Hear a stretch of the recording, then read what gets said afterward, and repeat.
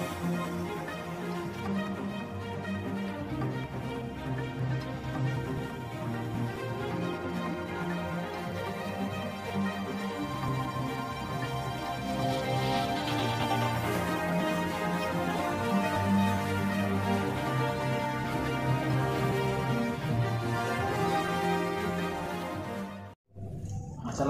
warahmatullahi wabarakatuh. Perkenalkan, saya Nasri Andra Putra, mahasiswa PGG dalam jabatan Angkatan 1. Hari ini saya akan melaksanakan video game untuk PGG Angkatan 1. Terima kasih.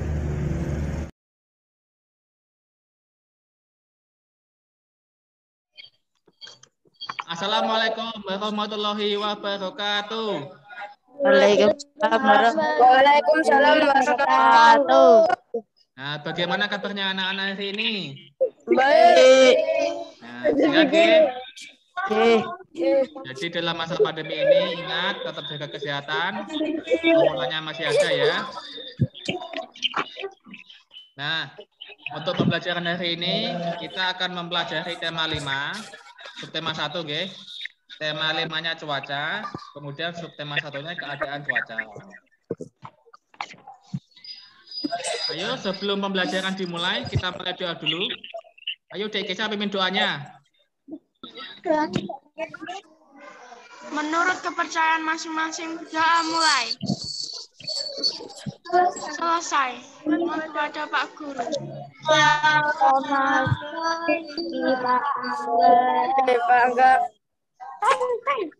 Oke, jadi pembelajaran hari ini ingat tetap jaga 3M ya. Memakai masker, menjaga jarak, dan mencuci tangan pakai sabun.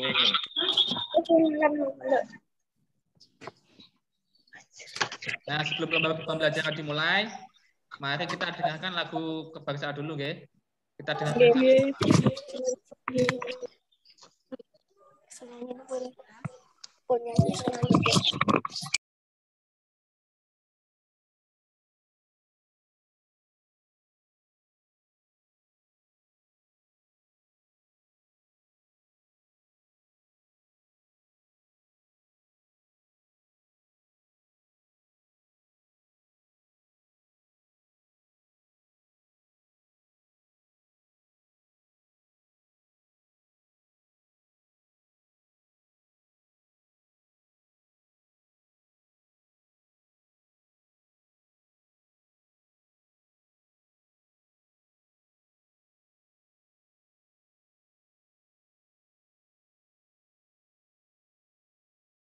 Kita sudah dengarkan lagi ya. Jadi untuk hari ini tema satu keadaan cuaca. Kita nanti ada dua mata pelajaran ya. Yang pertama itu bahasa Indonesia. Kita akan menggali informasi tentang cuaca. Nah, jadi tujuannya adalah nanti kita akan membaca teks cuaca sore ini, kemudian kita akan dapat mengidentifikasi informasi mengenai keadaan cuaca dengan benar. Kemudian yang kedua, kita akan mengamati video laporan cuaca. Kemudian kita akan merangkum ciri-ciri suatu keadaan cuaca dengan tepat. Kemudian untuk matematikanya, kita akan mempelajari pecahan. Jadi kita akan mengamati video pecahan sederhana. Kemudian kita akan dapat menafsirkan ya pecahan sebagai bagian dari sesuatu yang utuh dari benda konkret dengan tepat. Yang kedua, kita akan diskusi, kemudian kita akan sajikan pecahan sebagai bagian dari sesuatu yang utuh menggunakan benda konkret dengan benar.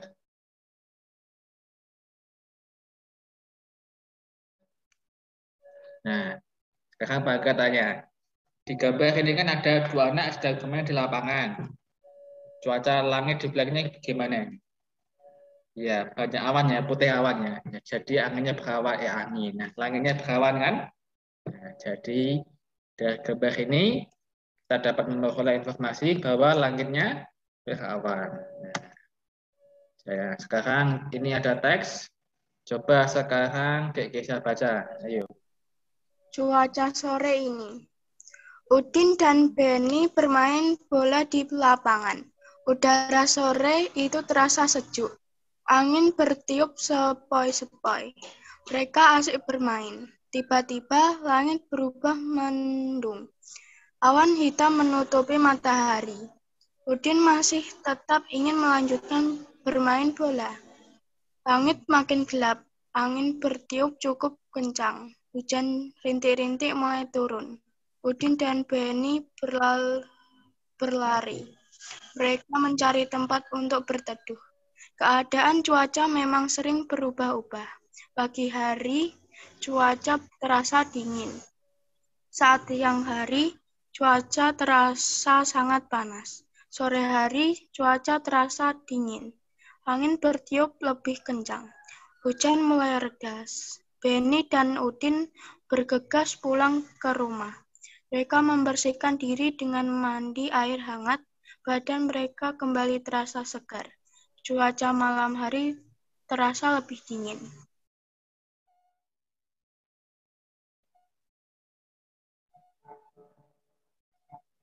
Nah, terima kasih Desa. Di teks tadi, kita dapat informasi apa? Sekarang coba angkatannya ya. Nah, bagaimana keadaan udara sore itu?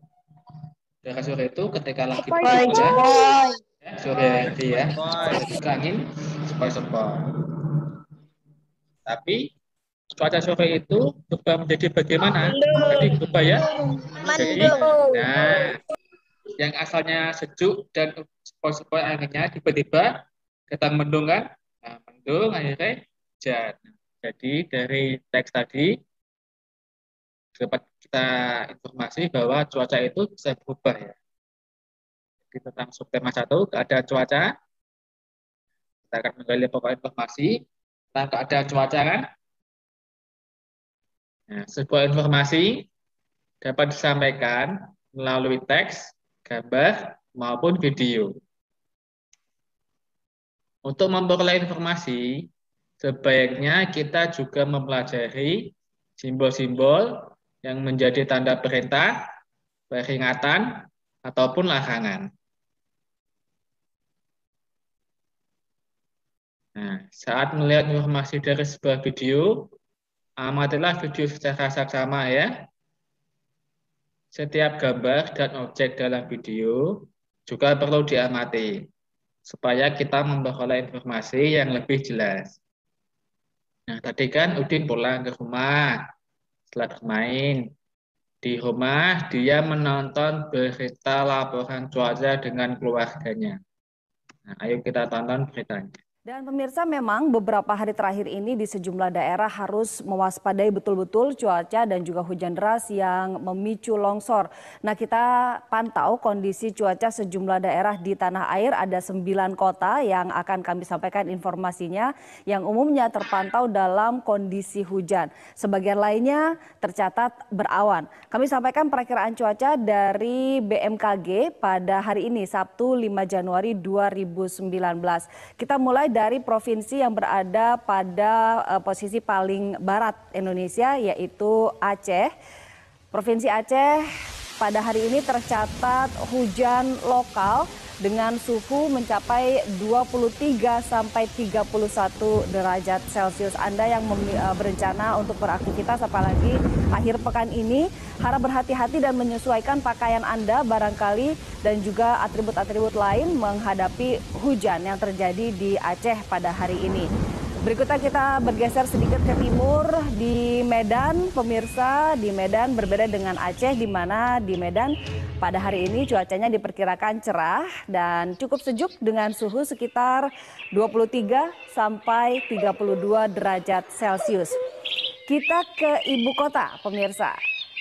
Jakarta pada hari ini diperkirakan juga berawan dengan suhu yang relatif sejuk untuk Jakarta sekitar 25 sampai 30 derajat Celcius. Anda yang berencana untuk melakukan aktivitas di luar ruang bersama keluarga barangkali uh, bisa melakukannya dengan tenang dan nyaman karena cuaca diprediksi akan berawan pada hari ini.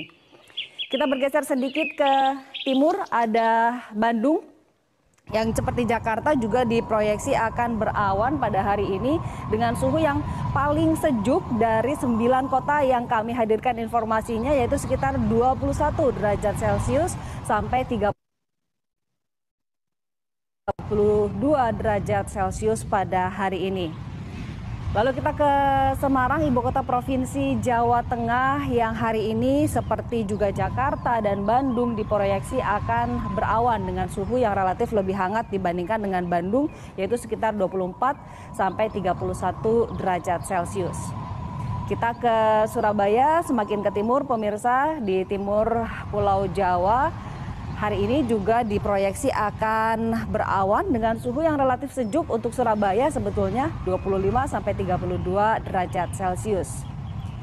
Kita tinggalkan Pulau Jawa dan menyeberang ke Pulau Bali dan Pasar pada hari ini diproyeksi suhunya akan cerah. Namun cerahnya cukup sejuk dengan cuaca sekitar 20 24 lebih rendah dari eh, Jakarta tadi 24 namun eh, yang tertinggi sekitar 33 derajat Celcius. Dari Denpasar kita sedikit ke timur laut ke Makassar. Makassar pada hari ini juga diproyeksi seperti Jakarta dan Bandung akan berawan dengan suhu sekitar 24 sampai 31 derajat Celcius. Sekali lagi Anda yang uh, berencana untuk melakukan aktivitas di luar rumah, barangkali kalau di Kota Makassar ada aktivitas di pinggir pantai, Anda bisa melakukan aktivitas Anda dengan um, cukup uh, santai ya, so, uh, dengan suhu yang juga relatif cukup sejuk, namun tetap berhati-hati karena Anda melakukan aktivitas di sekitar perairan. Kita ke kota terakhir pemirsa ada Jayapura yang hari ini juga diproyeksi akan berawan dengan suhu yang cukup sejuk sekitar 23 sampai 29 derajat Celcius.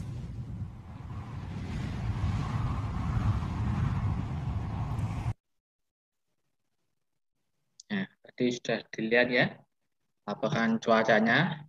Tadi di laporan cuaca berbagai kota ternyata cuacanya beda-beda ya sing cerah, berawan, hujan, dan mendung ya.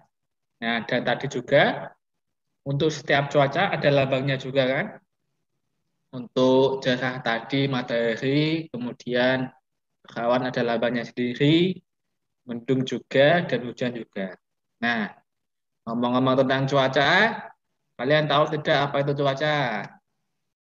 Nah, kali ini kita akan mengenal jenis-jenis cuaca ya.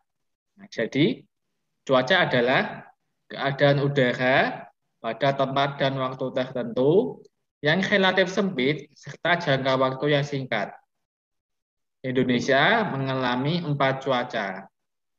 Cerah, berawan, mendung, dan hujan. Jadi cuaca itu keadaan udara pada tempat dan waktu tertentu ya. Jadi tidak semua tempat itu dan tidak semua waktu itu cuacanya sama. Jadi misalkan di sini kita cerah, mungkin di tempat lain bisa mendung ya. Nah, tadi ada empat cuaca ya. Ada empat. Jadi yang pertama itu adalah cerah. Nah, cerah tadi lambangnya biasanya adalah matahari ya. Karena cerah jadi ya cerah. Jadi di langit cuma ada matahari, awannya juga jarang, jadi kan sinar materinya langsung ke bumi, langsung ke kita ya. Kemudian yang kedua, kita ada berawan. Nah, ini mungkin mirip dengan cerah, cuma di langit itu lebih banyak awan, jadi sinar mataharinya tertutup awan, jadi tidak sepanas cerah ya. Keadaan udaranya mungkin lebih sejuk sedikit, dan awannya juga lebih banyak daripada keadaan ketika cerah. Kemudian berawan ada lagi mendung. Nah, ini hampir mirip dengan berawan, cuma awannya bukan putih lagi, tapi mulai abu-abu atau gelap ya. Nah, dan juga sinar mataharinya kadang juga ditutupi mendung sampai total, jadi tidak ada sinar matahari yang turun. Jadi udaranya ya mungkin agak dingin ya karena sinar mataharinya berkurang. Kemudian yang keempat, dalam mendung biasanya turun hujan. Nah, hujan ini ya seperti hujan, turun air, sinar matahari juga tidak ada, hawanya dingin, bahkan kadang disertai angin dan juga petir ya. Nah, tadi kan cuaca sering berubah-ubah ya. Misalkan pada pagi hari umumnya kan sejuk karena matahari baru terbit kan belum banyak sinar mataharinya, jadi dari malam yang dingin ada sinar matahari jadinya sejuk ya. Makanya kalau pagi itu biasanya kan bangun pagi agak malas kan, karena kan masih sejuk ya, pengennya kemulan terus ya. Nah, kemudian ketika siang hari, ketika matahari sudah sampai ke atas kepala kita kan, apalagi kalau cuaca cerah itu, wah itu panas sekali ya. Karena sinar matahari wes di atas kepala langsung ke bawah ya ceritanya kan bikin panas ya. Kemudian pada sore hari ketika mulai tenggelam, sinar matahari berkurang. Nah, dari yang tadi siangnya panas, karena mataharinya berkurang, jadinya mulai hangat. Jadi kalau cuaca sore hari itu biasanya terasa hangat. Nah, kalian sudah mengerti kan mengenal cuaca dan juga lambangnya. Nah, sekarang ini ada LKPD tentang cuaca. Nah, di sini kan ada lambang-lambang cuaca yang seperti di berita tadi. Nah, coba kalian ceritakan keadaan cuaca berdasarkan lambang-lambang ini ya. Ini ada matahari, matahari ketutup awan, kemudian awan gelap, dan juga ini hujannya. Nah, coba kalian tuliskan keadaan cuaca sesuai dengan gambarnya ya, dengan bahasa kalian sendiri. Nah, di form yang sudah Bangga kirim, sudah Bangga cetak dan kalian bawa, itu diisi, kemudian setelah diisi, nanti di foto dikirim ke WA pribadinya Bangga, ya, jangan di grup ya. Kalau di grup nanti malah dicontak temannya. ya. Kemudian, nah tadi kan udah nonton berita. Nah, ternyata ibu itu bawa kue. Coba kita lihat. Udin menonton berita perkiraan cuaca di televisi. Ibu membawakan kue bolu kesukaan Udin.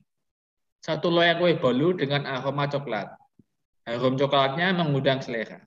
Jadi kan ada satu loyang loyang kue, kue bolu ya. Nah, lalu kue tersebut dipotong menjadi dua. Nah, setiap potongan disebut satu per dua atau seper dua. Kemudian dua potongan tadi satu potongannya dibagi jadi jadi empat. Jadi setiap potongannya disebut satu per empat atau seperempat.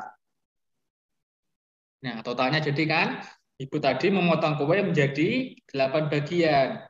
Nah, delapan bagiannya kan sama besar. Berarti setiap potongannya merupakan seperdelapan bagian dari kue yang utuh. Jadi kan ada satu per dua, satu per empat, dan 1 per 8. Nah, itu adalah namanya pecahan. Ya. Jadi berikutnya kita akan mempelajari pecahan melalui benda konkret ya. Jadi pecahan adalah bilangan dalam matematika yang terdiri atas pembilang dan penyebut. Pembilang terletak di bagian atas, sedangkan penyebut terletak di bagian bawah.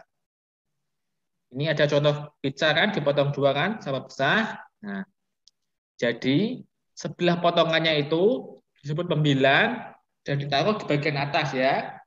Kemudian ada total dua potongan dari satu kan. Nah, dua potongan itu disebut penyebut dan ditaruh di bagian bawah. Nah, jadi kan pembilang di atas, penyebut di bawah kan. Jadinya satu potong dari dua potongan yang ada bernilai setengah atau satu per dua bagian.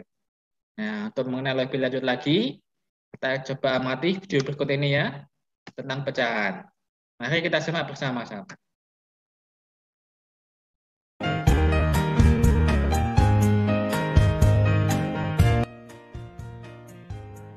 Halo, kita akan belajar mengenal pecahan. Pecahan didapat dari benda yang dibagi sama besar. Pecahan terdiri dari pembilang dan penyebut. Pembilang menunjukkan bagian yang dipilih. Pembilang kita tulis di bagian atas. Sedangkan penyebut menunjukkan banyak semua bagian. Penyebut kita tulis di bagian bawah. Nah, sekarang kamu sudah paham bukan?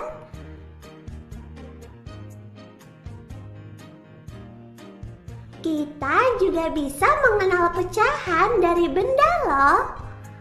Pecahan yang akan kita pelajari adalah satu dua, satu per tiga, satu per empat, dua per tiga, tiga per empat. Pilih satu per satu ya.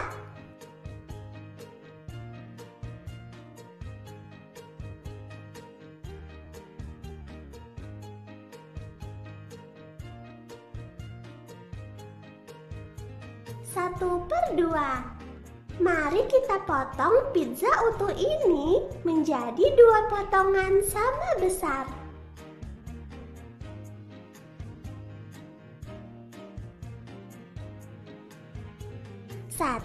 bagian pizza ini berperan sebagai pembilang. satu Jadi, pembilangnya adalah 1. 2 potong pizza ini berperan sebagai penyebut. 1 2 Jadi penyebutnya adalah dua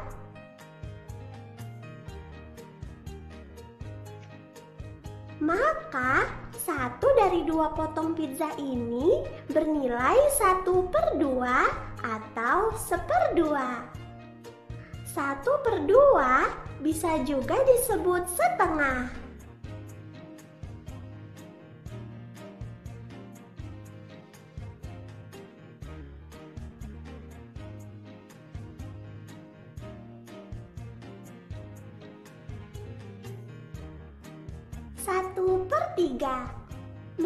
Kita potong pizza utuh ini menjadi tiga potongan sama besar.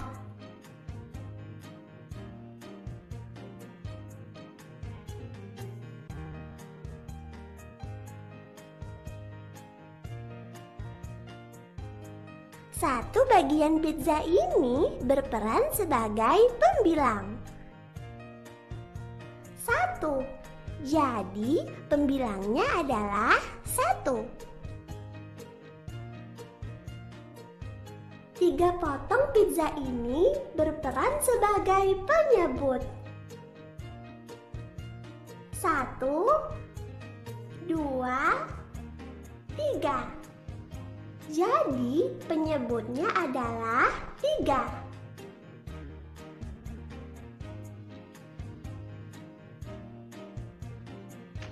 Maka satu dari tiga potong pizza ini bernilai satu per tiga atau sepertiga.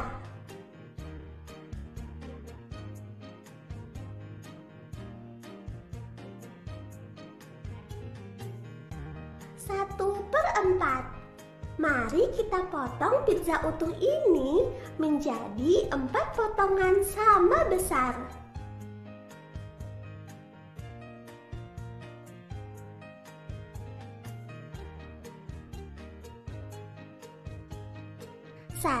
Bagian pizza ini berperan sebagai pembilang. Satu. Jadi pembilangnya adalah satu.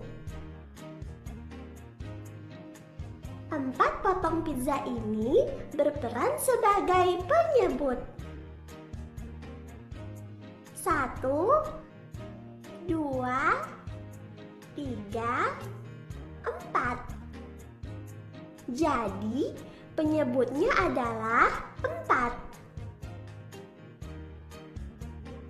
Maka satu dari empat potong pizza ini bernilai satu per empat atau seperempat.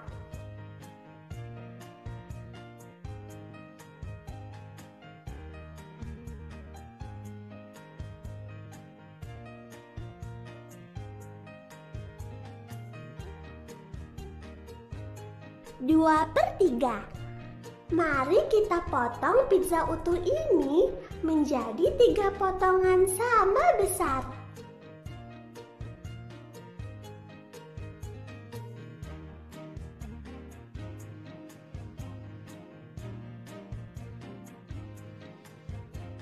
Dua bagian pizza ini berperan sebagai pembilang.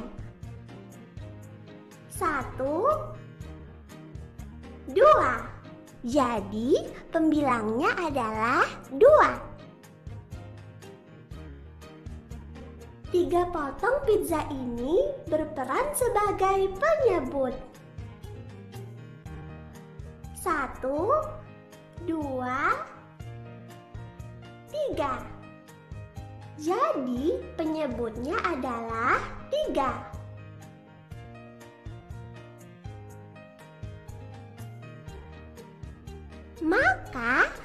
Dua dari tiga potong pizza ini bernilai dua per tiga.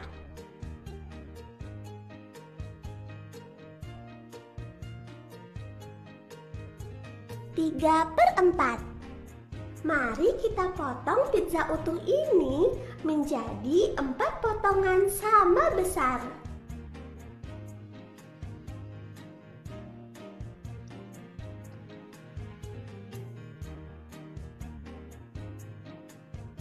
Tiga bagian pizza ini berperan sebagai pembilang. Satu, dua, tiga. Jadi pembilangnya adalah tiga. Empat potong pizza ini berperan sebagai penyebut. Satu, dua, tiga, empat. Jadi penyebutnya adalah empat.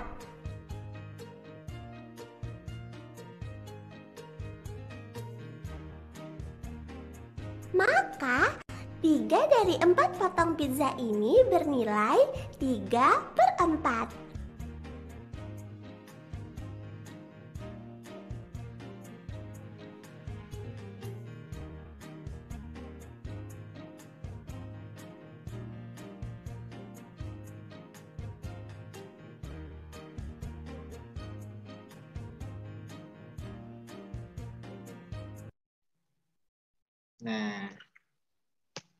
Kalian sudah lihat kan? Ada berbagai macam pecahan ternyata ya. Satu per dua, satu per tiga, satu per empat, dua per tiga, nah, macam-macam kan? Jadi berdasarkan video tadi, ini kan ada pizza, coba tentukan nilainya ya. Ini kan ada pizza. Ini pizzanya kan dibagi tiga, sama besar ya. Nah, jadi nilai pecahan satu potong biasanya ada berapa? Jadi kan satu satu dibagi tiga jadinya kan satu per tiga. Nah, ya kemudian ini ada lagi ini. Ini ada martabak dipotong dua. Nah, jadi setiap potongnya bernilai Satu per dua. setengah atau satu per dua. Ya. Kemudian ada lagi ini. Nah, ini martabaknya dibagi empat ya, empat potong. Berarti satu potongnya Satu per empat. satu per empat. Oke, betul sekali. Lihat lagi ya. Nah, ini ada lagi kan. Nah, ini martabaknya dibagi jadi delapan. Ada delapan potongan. Delapan potong. Berarti setiap potongnya bernilai Satu per delapan.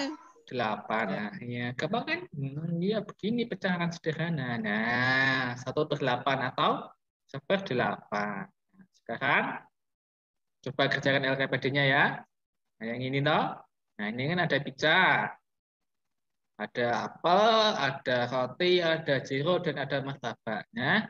Dan ini dibagi masing-masing ada pecahannya sendiri kan. Nah, coba nanti sama kayak tadi ya.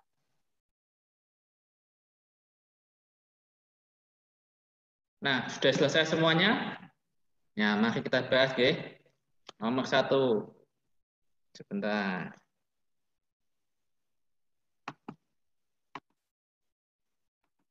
Nah, coba sebentar. Nah, sudah selesai nggih? Nah, mari kita bahas sama-sama nggih. Nomor satu, berapa bagian pizza yang sudah dimakan oleh Udin? Ini kan ada pizza. Pizza ini ding tembang satu tok. Berarti satu dari berapa bagian? Berapa? Ding berapa? Satu per empat. Oke, betul sekali. Jadi satu per empat, ya. Nah, kemudian nomor dua. Siti senang makan buah apel. Ia ingin membaginya pada Lani dan Dayu. Berapa bagiankah buah apel yang apel dipotong agar Siti, Lani, dan Dayu mendapat bagian yang sama? Yang sama? Nah, jadi apanya kan dibagi tiga. Jadi berapa, Adik Dava? Satu per tiga. Ya, satu per tiga. Nah, lanjut nomor tiga. Ibu menyediakan satu roti panjang untuk sarapan pagi keluarga. Roti utuh ini dipotong menjadi empat. Setiap anggota keluarga akan mendapat berapa bagian roti. Nah, ini kan rotinya dibagi empat kan, berarti berapa? Coba Dek Fiona berapa jawabannya? Dapat Satu per empat. per, ya betul sekali satu per empat ya. Nah satu per empat bagian. Lanjut lagi nomor empat.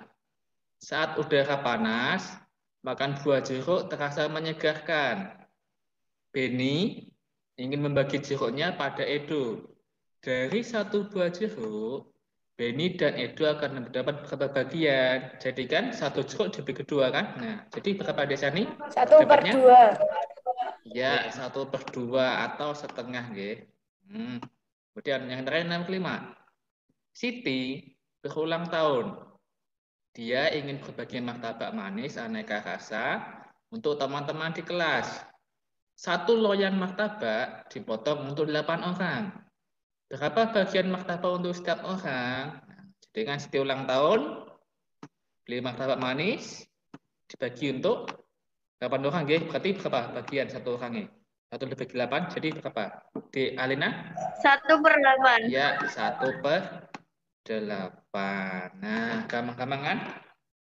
Nah, jadi inilah pecahan sederhana ya untuk pelajaran hari ini. Nah,